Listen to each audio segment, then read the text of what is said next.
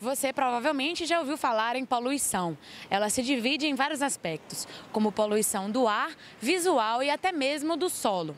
Lauro de Freitas vem sofrendo por diversos tipos de poluição, a exemplo dos nossos rios, que estão todos comprometidos. Além disso, a poluição sonora vem trazendo cada dia mais transtornos aos munícipes. Poluição sonora é o excesso de ruídos que afeta a saúde física e mental da população. É o alto nível de decibéis proveniente de atividades que perturbam o silêncio e desencadeiam uma série de prejuízos à saúde, que vão além de problemas auditivos. Então, nossos órgãos todos estão relacionados com entre si, inclusive com o ouvido também, e tem sons que são mínimos, mas que já incomodam o nosso organismo, podem dar taquicardia, podem dar irritabilidade, se a pessoa tem essa percepção.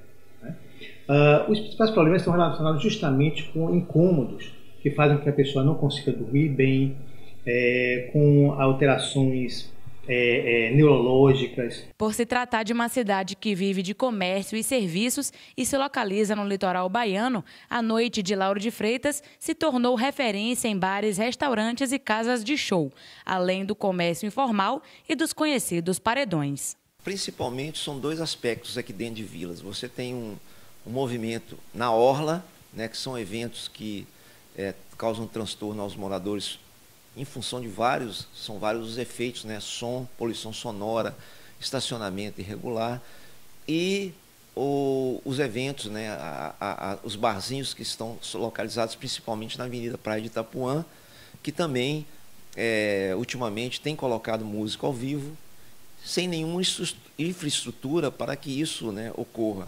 Nós apelamos, apelamos mesmo com, com veemência à, à excelentíssima senhora prefeita, à prefeitura de Lauro de Freitas, no sentido de observar essa questão.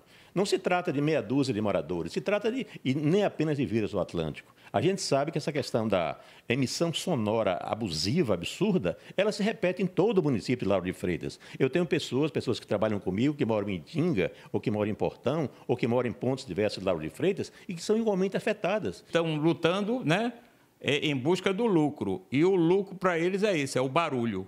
O lucro para eles é o inferno para nós. Aqui em Lauro de Freitas, a situação é tão séria que, em 2014, o ex-prefeito Márcio Paiva sancionou a Lei 1536, que dispõe sobre sons urbanos e fixa níveis e horários em que será permitida sua emissão.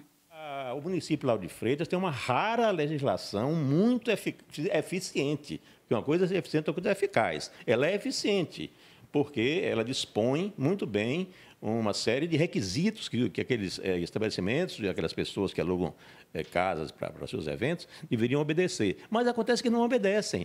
É dividido por zonas, conforme a lei. Então, uma vez a pessoa estando descumprindo, ele pode ter o som apreendido, além do som apreendido, ser arbitrado uma multa essa multa é arbitrada e vai para os cofres públicos. Então, uma vez reincidido também, pode gerar até a cassação definitiva do alvará de funcionamento. A, a, lei do município é boa, mas precisa ser cumprida e executada e aplicada.